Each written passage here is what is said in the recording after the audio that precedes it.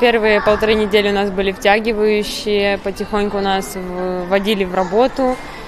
Э, такие были тренировки на вспомнить технику, вот это передача сверху, снизу в зале, бегали кроссы, вот, э, плавно вошли. Вот сейчас начался уже более плотный такой цикл тренировочный, будем работать.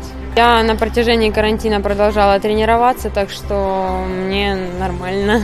Мы бегаем на кроссы по 40 минут, для меня это нормальная нагрузка. А, утром я чаще бегала, а вечером у меня был или пляжный волейбол, или классический в зале. Это было редко классический, а пляжный было чаще, потому что это же открытая местность, там два человека на одной стороне, два на второй, там было гораздо проще это обойти вот этот пандемию и все остальное. Это были тренировки, но помимо этого я еще сыграла было два турнира. Один домашний, там закрытый турнир у нас был, но играли мужчины, я просто как с мальчиком зашла, типа мы тоже пара мужчин. Вот, мы сыграли, мы выиграли первое место.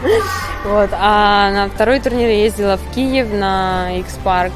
Вот, мы одну игру проиграли первую, потом одну мы прошли и еще одну проиграли. Ну, я стараюсь, работаю каждый день, добавляю что-то новое, что-то учусь чему-то. Всегда есть над чем работать, нет предела совершенству.